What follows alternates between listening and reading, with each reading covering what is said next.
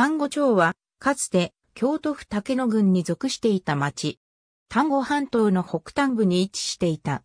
2004年4月1日に、丹後町を含む6町が、新設合併して、京丹後市が発足し、丹後町は廃止された。丹後町の町省庁省は、丹の字を図案化した上で、横棒を翼に片取町の発展と飛躍を表現し、その下の白い部分で双葉を表現した。町の木は黒松、町の花は水仙、町の特産品としてマオトガニ、サバの兵士粉、イワシなどの鮮魚、丹後ちりめんが知られた。丹後町は古くから開かれた土地で縄文時代晩期の遺跡が点在し、古墳時代には有力な権力者の存在が伺われる。全長180メートル超の新名山古墳など多くの古墳群がある。町はこうした歴史的遺産と豊かな自然を生かした丹後リゾート構想に基づく開発連携を図り、基盤施設の整備や地域産業の振興に力を注いだ。一京山徳量産丹後町は京都府の最北端に位置し、北側は日本海に面していた。南東は与謝郡稲町と、南は竹野郡八坂町と、西は竹野郡網野町と接していた。町域の一部は、丹後天の橋立大鉱山国定公園の丹後半島沿岸地区に含まれていた。気候は日本海岸特有の海洋性気候であり、山陰地方とほぼ同じ気候となる。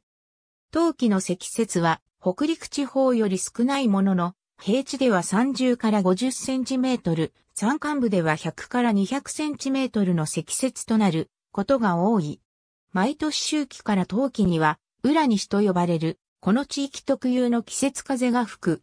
浦西は瞬間的な南西風であり、この季節のこの地域における不安定な気象状態のことも指す。丹後半島の中央部には、丹後山地が形成されており、北西に伸びる金剛同時山の山系が一清山まで続いている。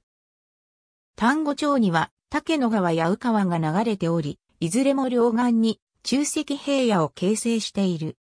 両河川の流域や日本海沿岸には小さな平地が形成されており、その平地に大小の集落と農地が点在している。上玄丹後町東部の14の大技を総称して、宇川と呼ばれる。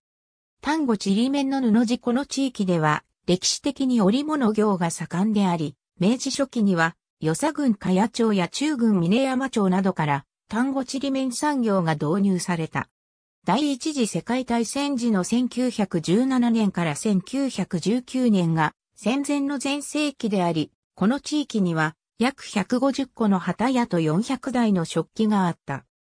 1927年3月7日の北、丹後地震では大きな被害を受けたが、で食器から力食器への転換が図られるとともに、経営規模を拡大させ、1940年のこの地域には1000台以上の食器があった。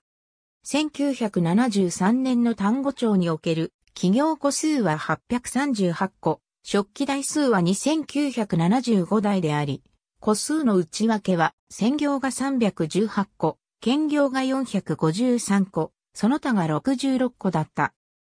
丹後町では漁業も盛んであり、ブリ、タイ、カレイイカカニ、ワカメ、海苔などが漁獲される。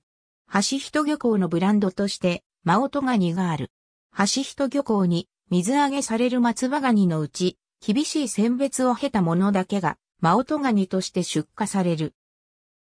丹後町立川小学校道の駅天気天気丹後、一般国道一般県道道の駅、竹岩。ありがとうございます。